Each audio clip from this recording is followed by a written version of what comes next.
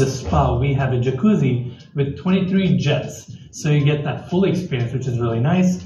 And then really like how they clad the jacuzzi and the floors here with the Ipe decking that we're gonna see pretty much throughout the property. And right on top,